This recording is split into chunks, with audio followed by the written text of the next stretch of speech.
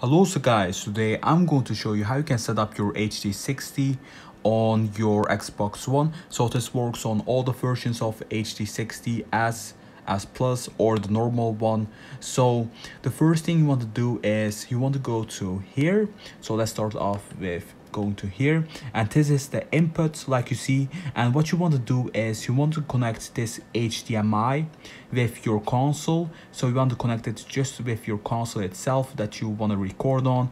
And now it's gonna be the Xbox One. So and this one this little button over here this is a USB-C port like you like you can't see it right now but i already connected it. So this is a usb-c port and you want to connect this one to your pc so i have a pc right over there that i have connected my elgato right now. You can also connect it with your mac. I also have it installed on my mac or your laptop. It does it doesn't really matter. You can connect this with everything and this is with a usb so you just connect it with your usb on your pc now guys, on the other top, we have the output and you want to connect the output to our monitor or our TV. So whatever you are using right now, you want to connect it with your monitor or TV. So like you see here, make sure it's connected.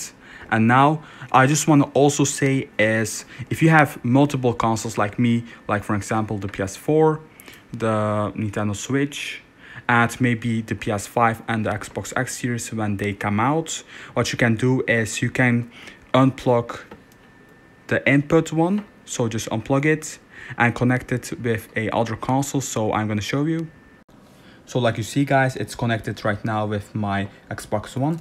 I'm gonna pull out the input and now I'm gonna connect my PS4 HDMI. This is another HDMI. So let's put it in. So now I am connected with my PS4. It's actually that easy like you see over there. It's that easy actually.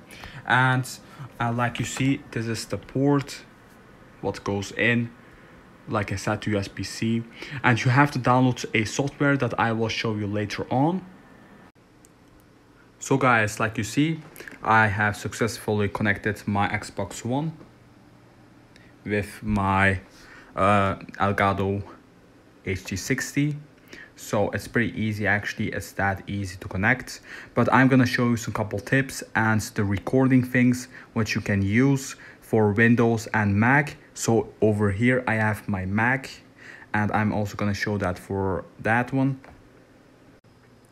To download the application you want to search up elgato on your pc a Windows laptop or Mac uh, or MacBook. And you want to go to here? Downloads. And once you did that you can choose between Windows and Mac. So for mine I have a HD60S Plus. So this one doesn't work for me because I don't know. It's I think it's a older version. So maybe if you have other um, game capture cards it's cool to be happening that this one works for you you can try out you can just download it. But if it doesn't work out what you want to download is the 4k capture utility for windows and that's what i have right now. So you just want to go ahead and download it. And for the mac you can simply just go to here. I already downloaded this one. So this one works for the mac. I have a HDS plus and this one works for some reason. And it doesn't i think it doesn't have a 4k utility so it actually doesn't so that's the only one that you can record. Let's close this off. And like you see this is how it looks like. Like there's barely any latency. If you are like playing maybe a competitive game, you will notice it, but you have to remember that this is only for recording and live streaming. So this is the screen that you want to look at. And here is it for my uh, Mac and it has some other settings like I think it's pretty easier to use this one but also it's also easy to use this one the 4k utility can just go to here. You can go up to 4k 60 fps but i suggest you guys to use 1080p 60 because it's like most game capture cards don't support that much. My supports to i think about like 1080p i'm not sure. I think it was like 1080p 60 f fps also guys i want to give you an extra tip.